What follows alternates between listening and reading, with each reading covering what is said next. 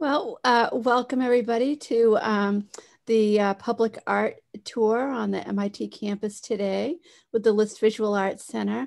Um, yeah, on behalf of MITAC, we're very thrilled to welcome Emily Garner from uh, the List Visual Arts and uh, Aviva, one of the students who'll be helping with this talk today, um, to talk about some of the great art on the MIT campus um, the art that we miss seeing, you know, haven't been there for a while, um, and some of the amazing art that is coming to Kendall Square uh, shortly um, with with some of the uh, rebuild and reconstruction there. So um, with that, um, Emily and Aviva, if you could um, let us explore the public art at MIT. Yes. Well, thank you, Diane, and thank you for inviting us to be part of your programming. Um, we really look forward to showing you a little bit about a glimpse of MIT, no matter where you are. Um, as we know, most of us are all remote at some place um, right now. But yes, my name's Emily Garner. I am the Campus and Public Programs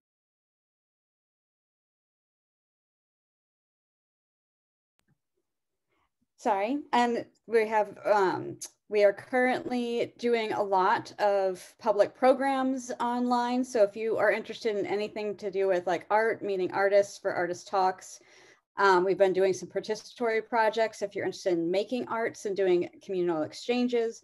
Um, so if you just want to check out our website at listart.mit.edu, um, we are the Contemporary Art Museum on campus. If you haven't visited, we are currently closed through the end of the year, but we're located in um, the kind of the media lab building near MIT Medical and and be able to tell you a little bit more about our history, but we generally do about like six to eight exhibitions a year with contemporary artists and think of ourselves as kind of a lab of contemporary art where artists are really like kind of pushing that field forward. Um, we are always free and open to the public and all of our public programs are always, always free. Um, same with our virtual events. So hopefully we'll see you at one of those soon. But one of the programs I do run with um, the MIT students is our student guide program. So Aviva is here today as she will kind of share a little bit um, about the public art across campus, both indoors and outdoors um, and the collection across campus. And I will be helping her with the visual presentation. So we'll both be here. If you have any questions, feel free to use the chat function along the way. And Aviva? Thank you so much, Emily. Hi, everyone. Um, as Emily already said, my name is Aviva, and I am a student tour guide for the LIST, MIT's Contemporary Art Museum.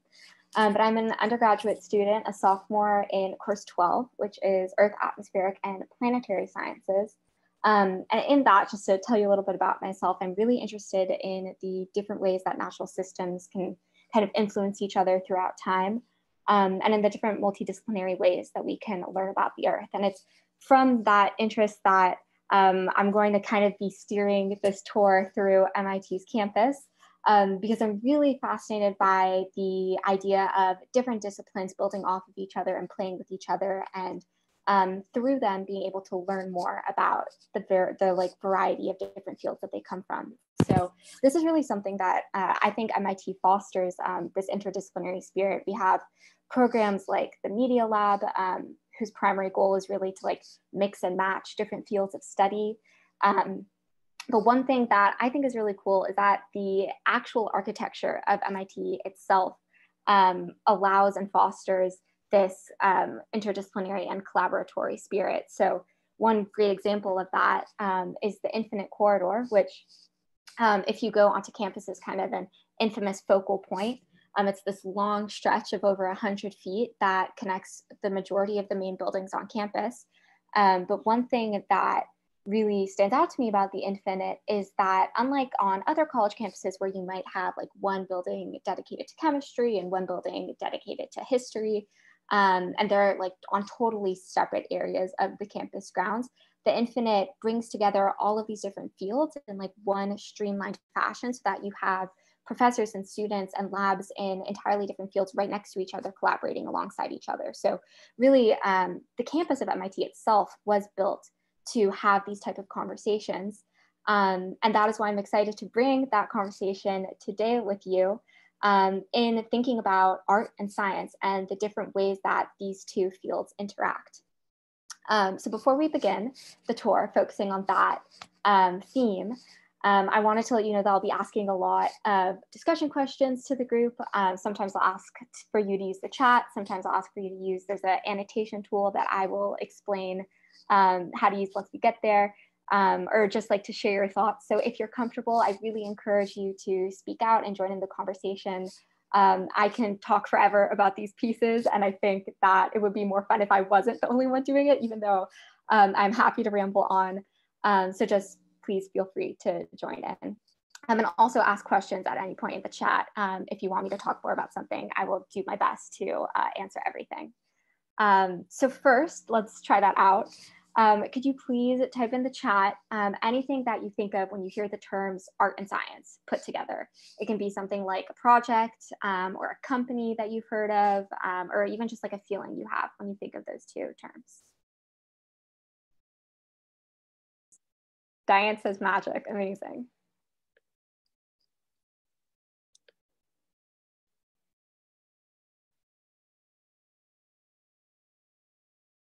And it's also okay, you can like think more about this and we can come back to it, but I'll give a couple more seconds.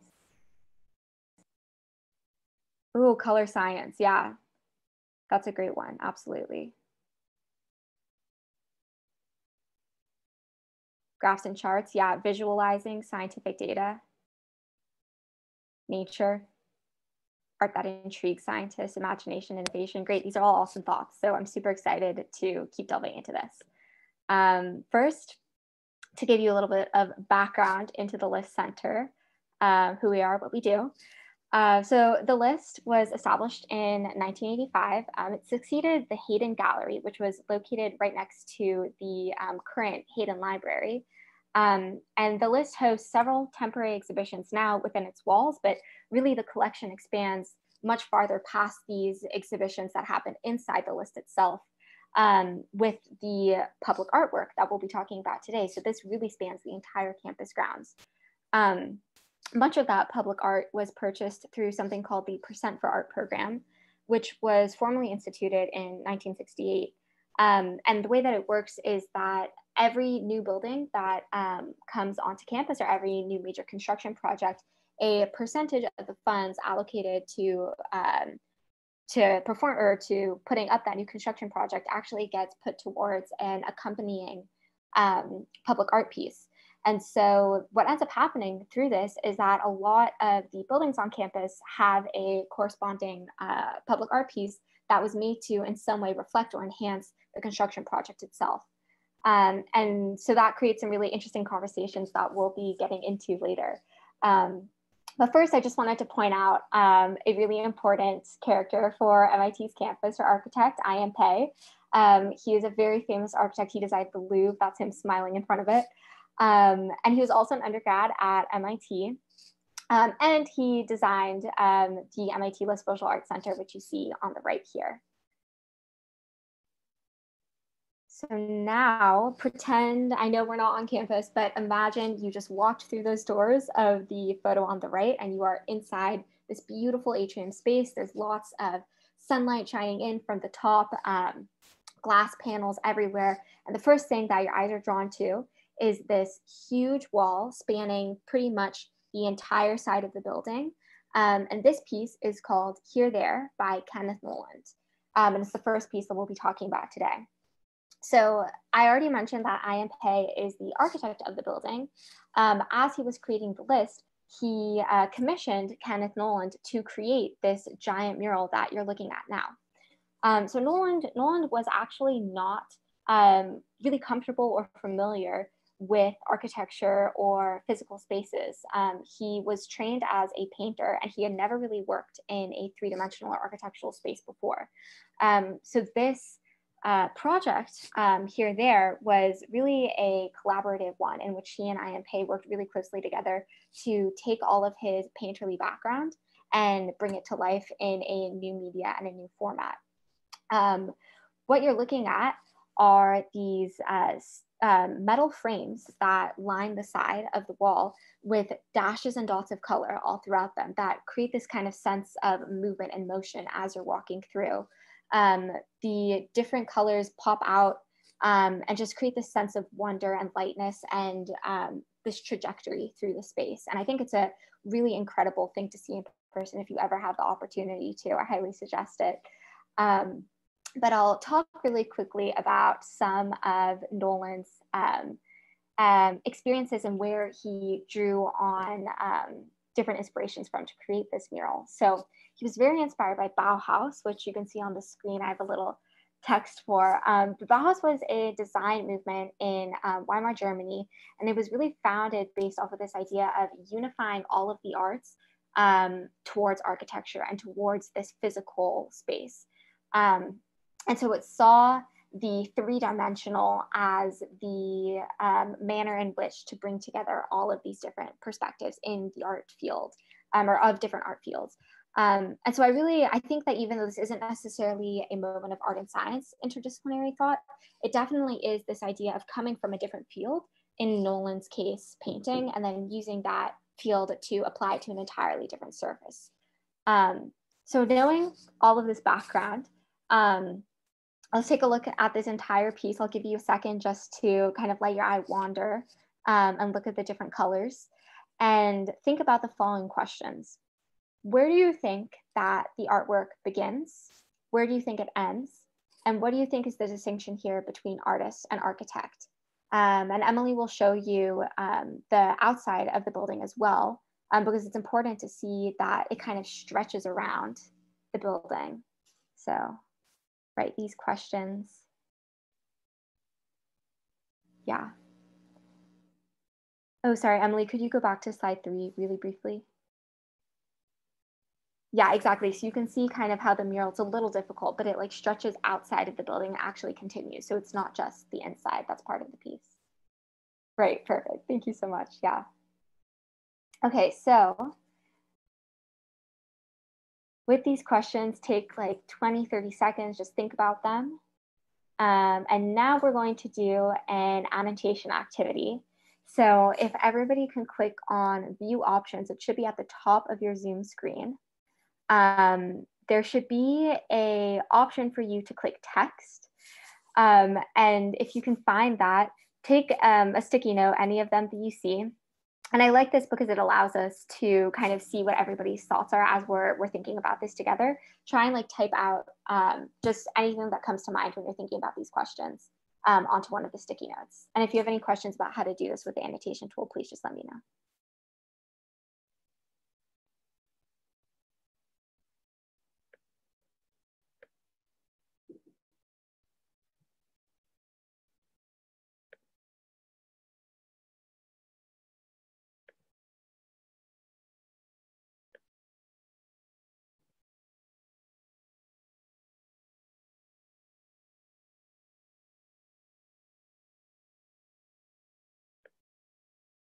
Amazing. Somebody said that the building itself is art.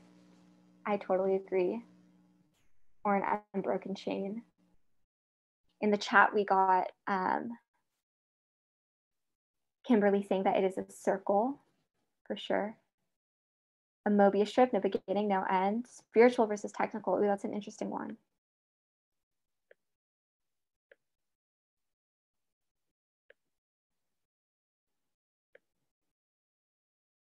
Hmm, this one is interesting. The architect thinks about the function first and the artist about emotions.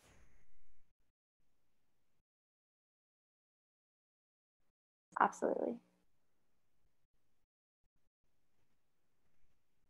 Whether it's objective oriented or not, fantastic. Okay, amazing. These are all great thoughts. Thank you so much for sharing. Architect has parameters, artist has no limit. That's an interesting one, right? Because the what are really the parameters of architecture? I mean, there are physical parameters when it comes to maybe how tall you can build or or what shapes you can make to safely sustain a building, but those parameters are changing all the time. We have new technologies now to create um, buildings and go to heights that we wouldn't have been able to do 50, 100 years ago. So there must be a limit at some point, right? But that those parameters change, yeah someone's leaving hearts. Oh, that's awesome. If you agree with it, that's cool. Okay, great. So we're going to move on for now, but there will be lots of other opportunities to chime into the discussion. So thank you all. I think there should be a way to clear the annotations. Yes, amazing. Okay, so now we will move on to um, another Bauhaus piece. So continuing with these modernist influence, Bauhaus influences, this is Martin Boyce's Through Layers and Leaves. Uh, so before I even tell you anything about this, we're actually gonna do um, another interactive moment. Um, if you go back to the annotation tools, I want you to draw a circle around the first part of this piece that stands out to you. No other information. I'm not telling you anything about this piece, just like what stands out to you. Where is your eye drawn to?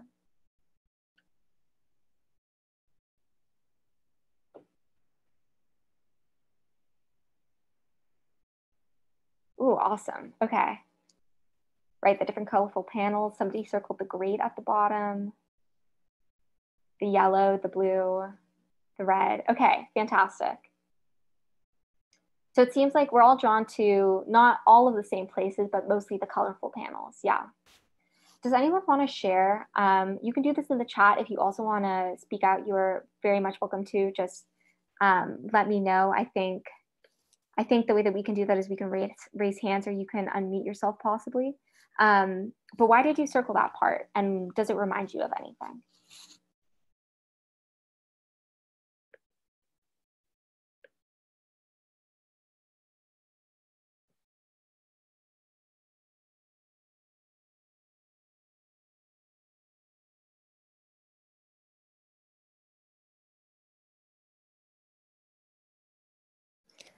Ooh, vaccine. Okay. Hit the nail on the head. Looks like a plant with branches, leaves blossoming outwards. Just where my eyes were drawn. Absolutely.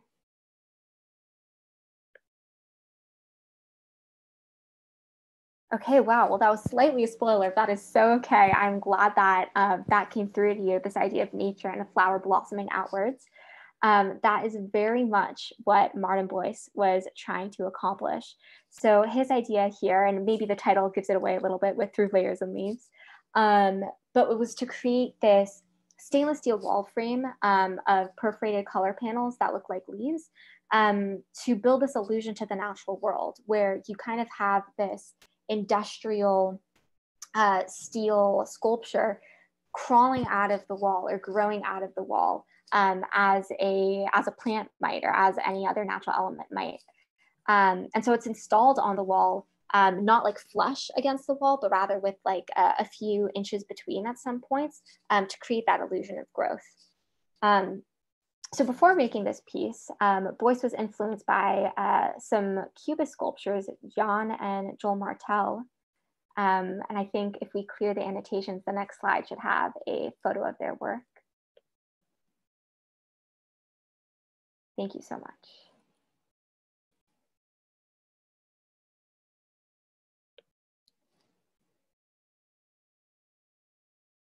Um, Emily says, what you cannot notice here, but the heat grates at the base circled in green is actually the same design as the artwork.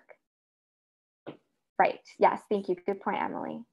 Um, and Anthony says that uh, they were drawn to the grate because they enjoyed thinking about where the form of art and function of the building meet. Fantastic. Um, so right, so these um, are actually meant to be trees. Um, and they were built um, out of concrete in these French modernist gardens. And the idea was really to just reimagine the natural world, but through the framework of today's industrialized world. So given um, the rate at which technology in an industry is ever increasing, um, what might the natural world look like today in 20 years and 50 years? Um, in the 1950s, John and Joel Martel were dealing with these questions. Today, um, Boyce is dealing with the same ones. Um, I think it's things that we think about quite often now, um, given the uh, rapid increase of climate change. Um, and so really what Boyce was trying to do with his work, um, and this will be for the next slide, um, was to engage with this idea of closer and closer, this call to examine our relationship with the natural world more closely and to reflect upon the different ways that industrialization with his materials influence our environment. Um, so the questions that he seems to be asking are, um, this should be next slide. Thank you. the questions that he seems to be asking are what might a utopia look like in today's world and how can we bridge this gap between urbanization and an appreciation for the natural environment? We won't be answering these questions now, but I encourage you to think about them as we explore the rest of the pieces because they are themes that will, will be continuously coming up in the work um, that we'll be seeing for the rest of the tour. So now we are moving on to Scientia by Ursula von Rydingsvard. Um, and this is a great example of the Percent for Art program that I was telling you about before, in that um, this piece um, was built as the McGovern Institute for Brain Research was built. So it was um, the funding for it came from a portion of the funding allocated for the Brain Research Building. Um, it is this gorgeous, tall, towering 25 foot sculpture um, made out of bronze right at the entrance of the building. Um, so it really kind of sets the tone as you're walking into this biology building um, for you to look at this piece and think about the ways that the research happening inside the building and the art um, play with each other, interact with each other, complement each other. Um, but first, before I tell you more about this piece, we're actually going to watch a short video about the process um, behind making it.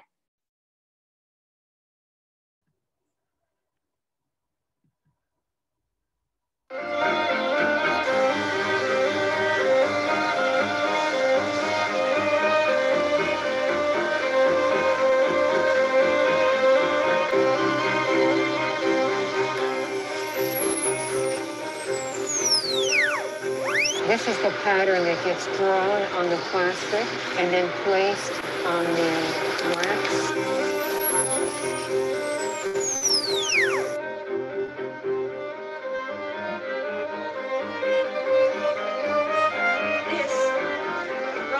It just, it's done its job. Cut it off and throw it back in the crucible. Yeah. And what we're after is this surface recorded accurately in metal. That's the art. After the bronze gets put into it, they have to hammer off that ceramic shell. It's very tough, it's very hard.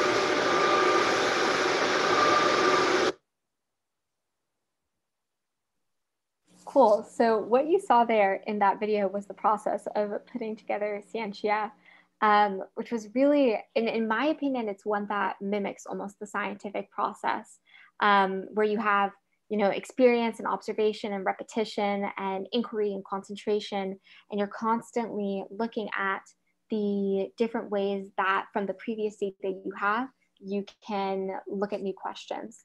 Um, and that's really how von Rydingsvard approached this. Um, it was an experimental design where uh, she was constantly honing her techniques and refining um, the different ways that she was going to be putting together this massive sculpture. Um, and some of the tools that you just saw were these, um, were these uh, essentially it started out as these milled ready-made cedar beams, um, upon which von Rydingsvard drew these wandering spontaneous lines without um, forethought or planning um, just kind of going with what she felt the cedar beam's uh, natural form should be. Um, and then once she had created these lines, she lacerated along them um, and built this bronze sculpture out of it, um, which she cast. So I think that that this this idea of art being something that um, maybe comes from uh, intense concentration, but um, a place really of where, where you know exactly what you're going to do next, I think is, is an opinion that a lot of people have about art where they see something and they think, well, the, the artist was just kind of working sequentially through it. Um, as opposed to seeing the process of creating art as really a scientific one, where there are steps along the way, where you question yourself, where um, you wonder what direction to take the piece in. Um, I love that this is a piece that reflects that um, creative process. Uh, so now on the next slide, you'll be able to see, oh, my bad, on the slide before. Um, you'll be able to see kind of a bigger form of Scientia. I was wondering um, what you saw in this piece. Um, there are many different shapes that it kind of resembles in nature. Um, and I was wondering if any of them stood out to you. So if you see anything, type in the chat um, or feel free to speak out.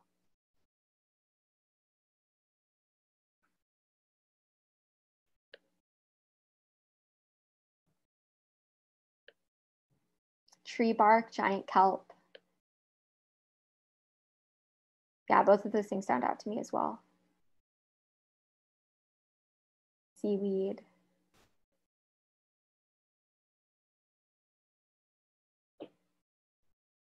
Coral. Yeah, definitely very reminiscent of marine environments at the top there. A synapse.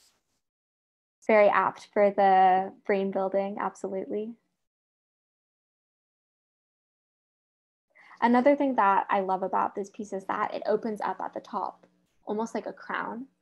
Um, I just think that that is one, a really lovely visual, and two, creates the sensation of the sculpture itself being kind of a vessel.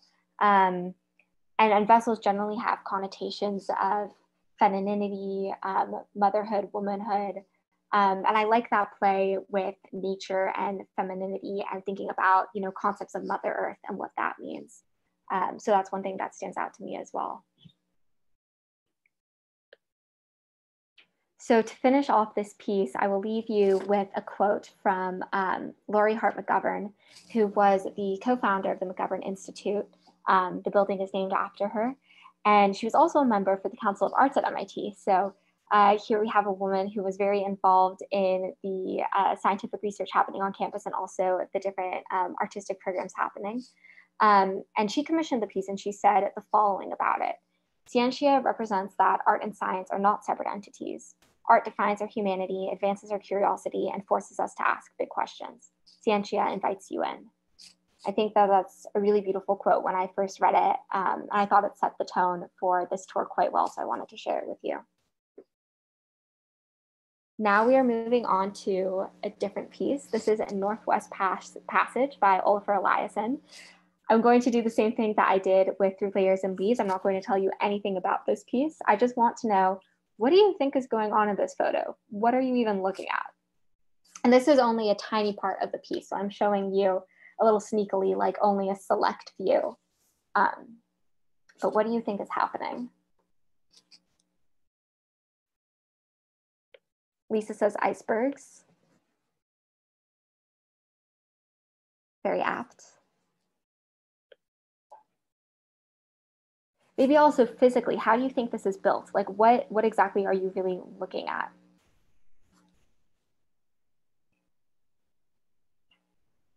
it looks like a nose ring, absolutely.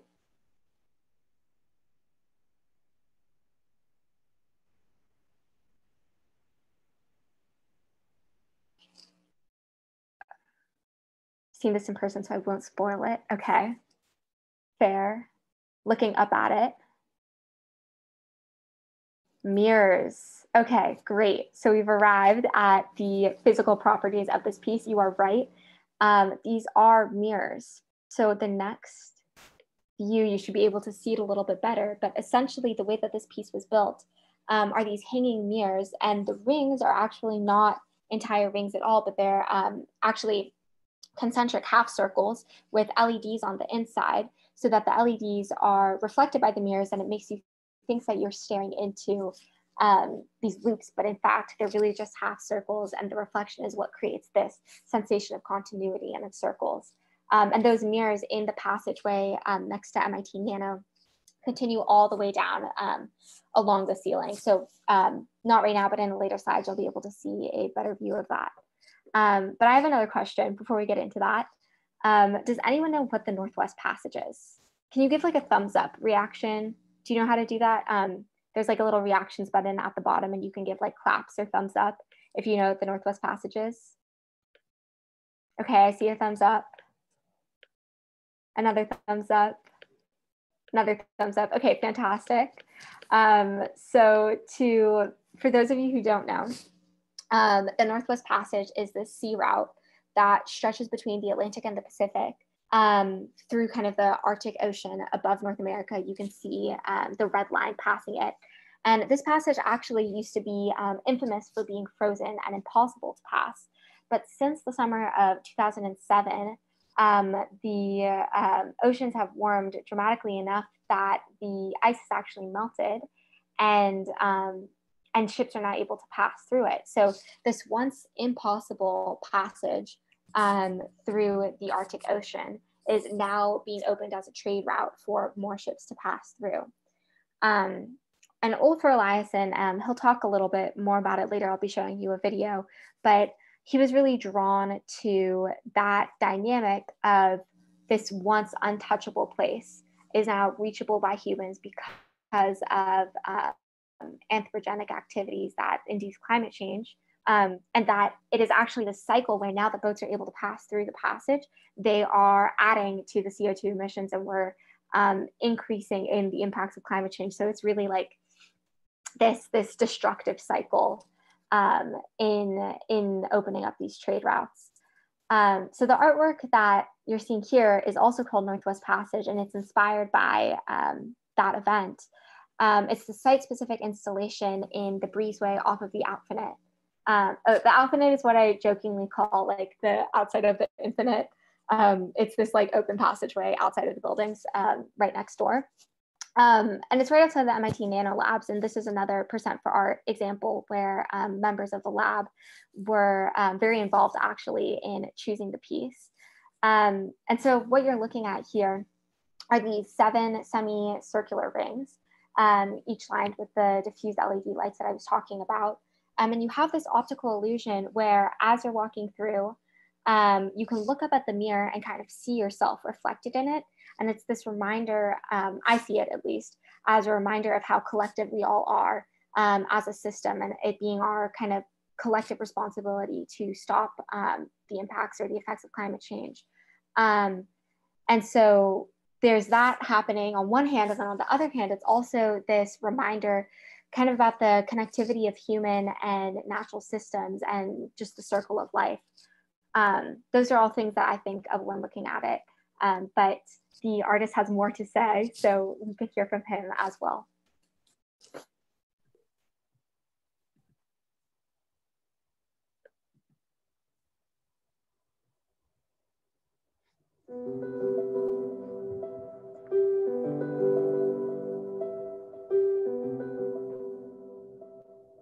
One of the great things that culture and art is capable of is actually giving a physical language to something that is otherwise highly mediated or abstract, meaning that something like climate change is very difficult to understand because it's just I can't touch it, I can't measure it. It's not like a it's not like a ball in my hand.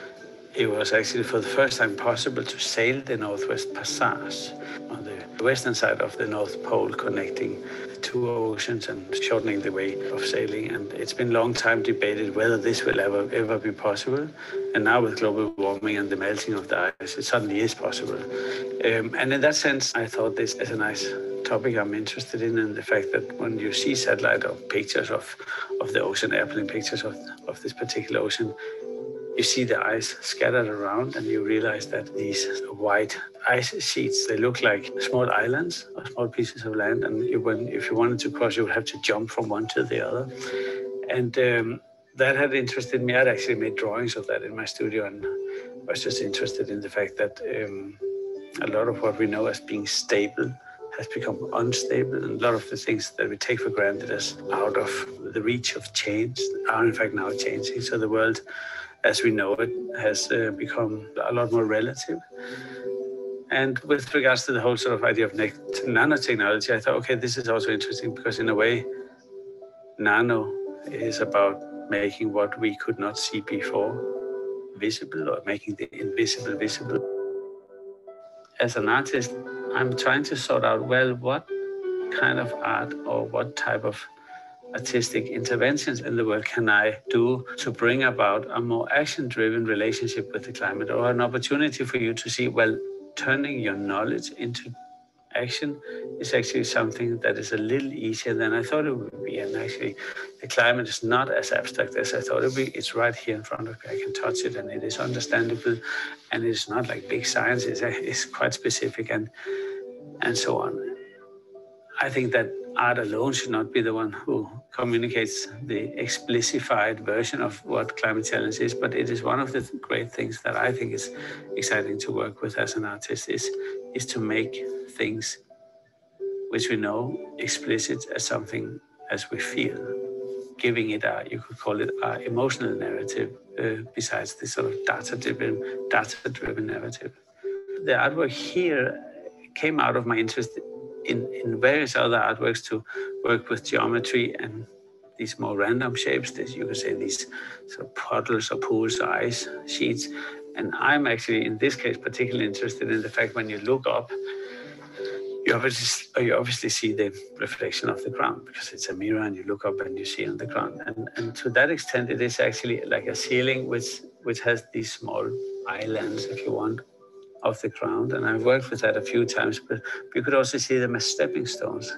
Should we be in a situation where the South Pole melts and the chances are significant, right? It's not just some crazy idea. It actually is. That probably means that half of Boston is completely underwater, not just a little, but like literally underwater. And going around on the campus is likely to be jumping from one stepping stone to the other. So when I talk about these things, I talk about the kind of way that a space contains not just us, but also our action and our ability to interact and share uh, things. And I think art can be a part of that equation and uh, artistic interventions and amplify what makes the, spa- the space better, amplify the fact that we should be open minded to the extent of understanding that spaces actually have social potential as well. And sometimes you need a language or you need a sort of a, a quality in a space uh, which simply triggers that sort of social or that generous type of activity.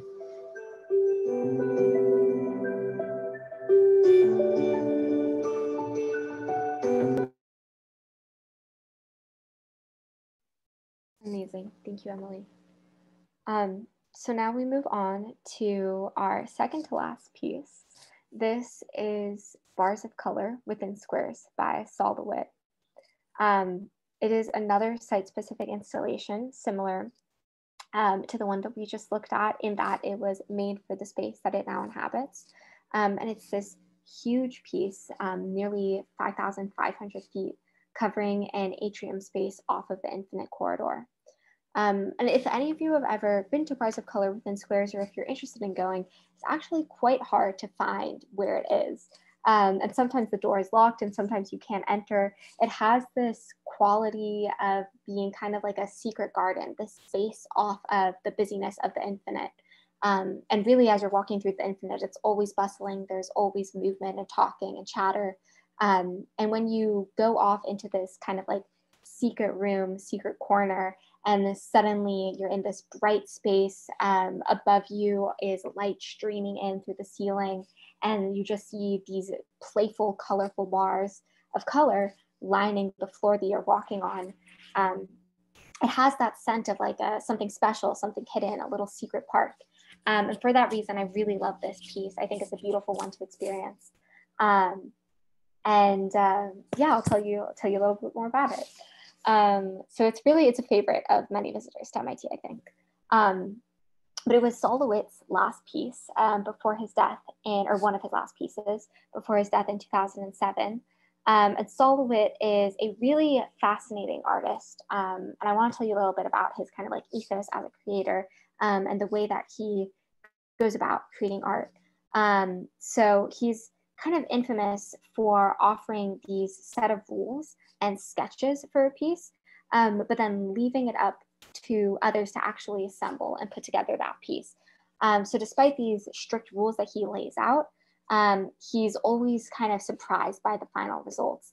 Um, and I'll get into that um, more, but it's this idea of really like who, who is the artist and what is the role of the artist? Is the role of the artist to assemble the piece? Is the role of the artist to think of the piece or to decide what the piece means? Um, these are questions that um, are perfect to discuss with Sol LeWitt. Um, and I think also kind of get at the core of uh, interdisciplinary work when you have many people working together on one project from different backgrounds, um, what that kind of creates. So yeah, exactly. I always hope to be surprised by final results is, um, is something that's always quoted um, of having said. And here you can see a little bit better um, the like perspective you have as you walk through the atrium space. Um, I also want to talk a little bit about the material um, that this piece is made out of. Um, it is made out of terrazzo, which is this glass and epoxy kind of resinous mix.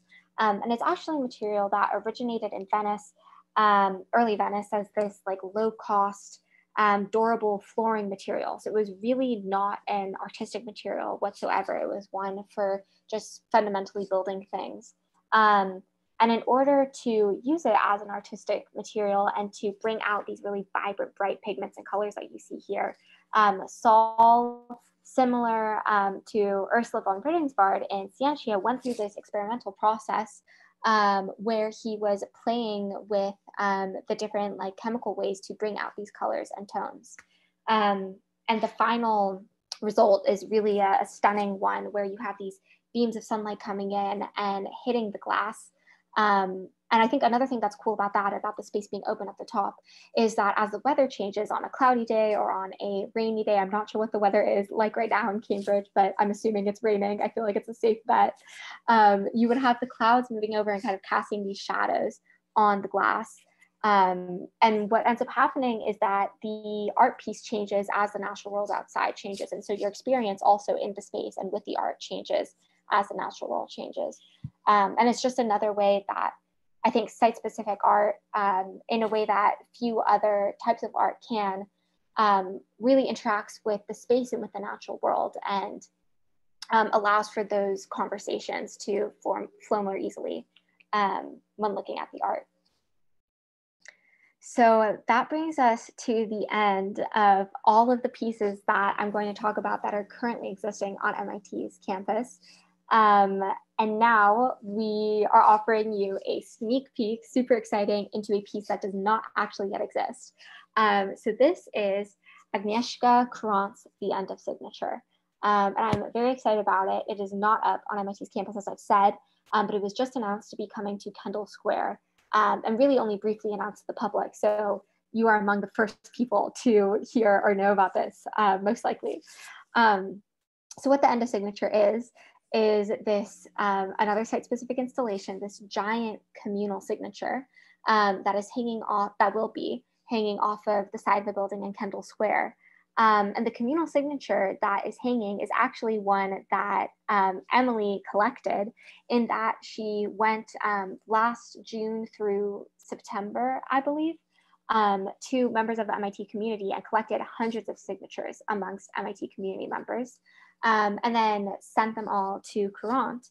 And Kurant was collaborating with a, with a programmer um, who uh, was building this um, software that allowed him to pull together all of these different signatures and create this morphed single signature from all of them. It's kind of this like aggregate forms all coming together unified into one. Um, and if you're curious as to like technically how that happens, um, there's a video from MIT CSAIL, one of the MIT computer science labs, um, to show you a little bit more about visually how that occurs.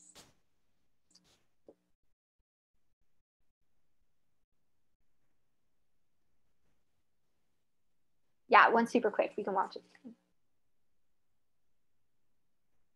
Awesome, yeah, so essentially you get like this kind of like scramble of everybody's signatures and then the software morphs it into this aggregate form, um, which unifies everything.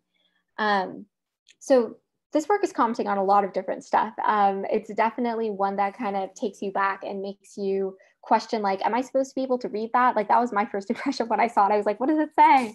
Um, but um, some of the things that Kurant has mentioned herself that she is commenting um, on with this piece is one, the decline of handwriting in um, our technological age. I actually remember very strongly in elementary school being taught to write in cursive and all of my teachers telling me you're going to need this for middle school. And middle school everyone will expect you to write in cursive. And then i got to middle school and nobody expected me to write in cursive but i had spent years learning cursive for what i thought was nothing. Um, and then in high school i wasn't even writing in print anymore because at that point i was just typing on my computer all the time.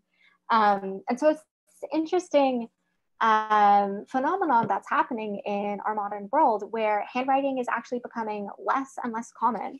Um, somebody said you're not old enough. Um, that's fair. Um, but really, we are we are losing this touch um, with handwriting that used to be um, just like a fundamental part of day-to-day life. So much is happening now on computers. And so that was one thing that wanted to talk on at least. Um, but then she also wanted to kind of play with this idea of the decline of individuality and authorship in society. Like what happens when we bring together all of these different signatures and condense them into one form. And when I heard that, what I thought of was how I'm currently, you know, thinking about maybe working in a lab one day, or I've had experiences um, in different labs at MIT working as a student researcher. And what really stuns me is the depth of collaboration that happens across institutions and really across countries and continents in scientific research. You could have one paper come out that has 20 co-authors um, and they've all worked together to create this one paper and to, to produce this body of research. And then of course, that paper is then cited in you know tens to hundreds of other papers and so all of all of research is just this compounding of knowledge and sometimes what can happen with that is it's really hard to define really ownership of knowledge and, and authorship of knowledge. And so um, I think at least that Kurant is kind of commenting on this idea of assigning intellectual and creative ownership and how it's important to give credit absolutely where credit is due. Um, but, but kind of illuminating how difficult that is um, today when everything is so interconnected through technology. Um, and then using art, of course, to, to comment a little bit about the research world, I think is always fun. Um, so now I want us to do an activity together. Um, actually, before we do this activity, I was wondering, um, somebody somebody commented, "You're not old enough." That's fair. I actually want to know what your thoughts are on this. I remember very vividly coming up with my own signature in seventh grade. I think I was just like bored in class one day um, and I had a piece of paper and I just wrote my signature like consciously over and over again until I was satisfied with what I had made. Um, and a signature is really such a personal thing. I mean, you use it for official documents, um, you use it to sign that you agree with something, that you comprehend something. Um, do you remember the moment that you created your signature? And does it mean anything to you? I'm curious to, to hear what you all think. Someone says that they didn't create a signature until college. Yeah, I honestly, I might change mine. Mine is very um, seventh grade cursive of me. There's like no fancy loops. I feel like adults always have fancy loops. It's an autograph. That's a great way to think about it. I really like that actually. Lisa says that theirs is always changing. Absolutely definitely the signature when you're like signing a receipt is different than the signature when you're signing like an official document. That's for sure. Yeah. Diane had a similar experience to me, third grade penmanship teacher. Seems to get lazier with each passing year. Fourth grade. Yeah, it, it's crazy to me that um, some of us have these experiences of like in third or fourth grade creating this visual that then defines us for the rest of our not defines us but is like a in some way definitive aspect um, for the rest of our life. So yeah i just think that that's a fascinating thing. Um, so knowing this about each other now what i want us to do is create our own end of signature um, where we are basically going to go back to the annotation tool and oh emily said something over 800 signatures. Yes, I didn't include the number. Absolutely. Yeah. So um, Emily collected over 800 signatures from the MIT community. I mean, that's just a huge, huge community that then is aggregated into one form. Um, and once we do the activity, I'm going to ask kind of a question about that. But um, basically, like, does that form really represent all of those individuals then, or is it is it representing something else? Is something that I'm curious about. Um, but before we kind of delve into that conversation, we'll do this activity. Um, on the next slide, I think should be a blank one. Yes, perfect. Okay. Um, can you all take the annotation tool? There should be, instead of text, there should be like a drawing capability. Um, and I want us to make our own giant signature. We don't have the software, so it might be a little bit messy. Um, but basically, one person can just start off by writing their signature. And then if you see anybody else's signature, take like the tail end or, or build off of one point and try and kind of connect all together um, where all of your signatures kind of form into this one uh, unified visual. I'm excited to see what it looks like.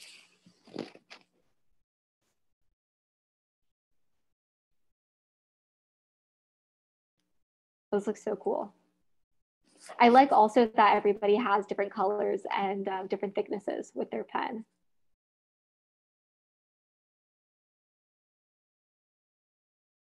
I'm curious, are you just writing wherever you feel like there's open space or are you, is there like a thought process behind like where you're tagging your signature onto? Like maybe you see somebody else has an A in their name, so you like added your A next to theirs or something. Like what was the, what was there any, um, did you have any thoughts about it?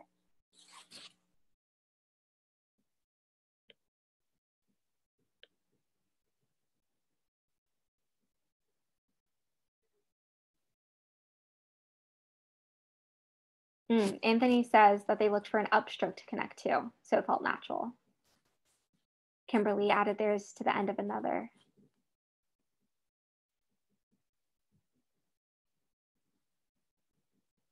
Yeah, I think it's kind of like this microcosm, microcosmic activity in that um, we do so much collaborative in, in our everyday lives lives and we're always kind of having to think like how how do we build off of somebody else's work and work with somebody else so that our point of view and our um, individuality comes across and yet we're like still coming together to create something bigger.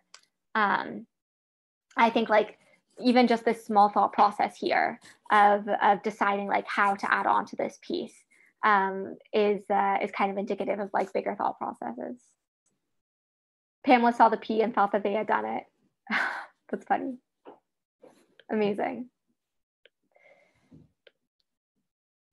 Tried to connect to the upstroke of the orange piece, but it moved. Oh, sorry, I know. The technology is hard. Zoom sometimes gets a little finicky. So do you think now that we have our final visual, do you feel like this visual represents you? Like if you were to look at it, would you say, yes, I am, this is, this is my signature? Or is there a different experience? Do you feel like it's like a part of a whole?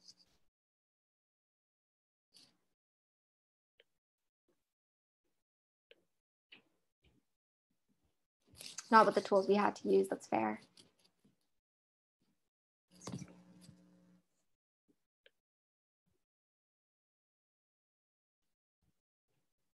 Maxine enjoys the mix of styles and personalities. Me too.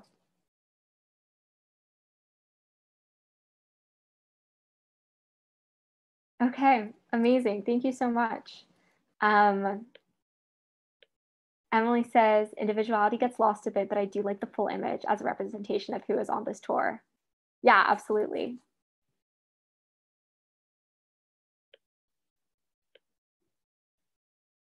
It's a cool way to kind of cement this one moment in time of this group of people who are here for this experience now. Amazing. So thank you all. We are nearing the end of the tour. I think there's five minutes to the hour. Um, I hope that you learned a little bit about MIT's campus, a little bit about the public art available currently and coming up, um, and that and that you just had a good time thinking about the different ways that art and science um, engage in conversation with each other. Um, so in closing, art can tell stories about science, science can inspire art. These two things are constantly in flux. Um, and I think that the work on MIT's campus does a really great job of bringing those themes to life. Um, so if you have any questions about any of the pieces I talked about uh, today, I'm happy to answer them the best I can. Um, and also, um, you can always go to listart.mit.edu um, for a really comprehensive guide to all of the public art um, available um, on our campus um, that will tell you more about pieces that I talked about today and also pieces that I didn't touch on. Um, and there are many, many more pieces that I didn't touch on. So if you are in any way curious, that's a great site to go to. I just wanted to add in, first off, thank you all for coming and thank you, Aviva, for that tour. Um, this is Emily Garner speaking. Um, we have like over 70 works of art across MIT's campus, and it actually is quite impressive for all of those that are part of the MIT community.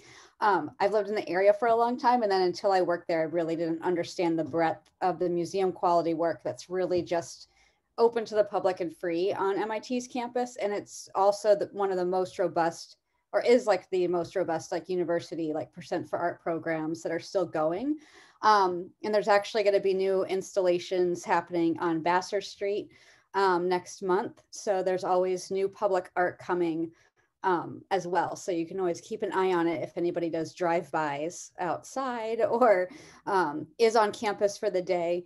It is like serves as a nice kind of fun way to kind of look around.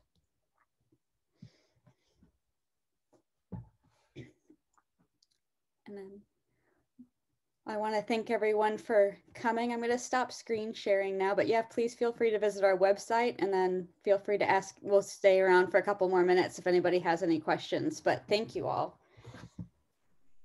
Thank you so much, Emily and Aviva, for an amazing talk today. It was uh, really remarkable and it was great to interact. So thank you. Thank you all so much.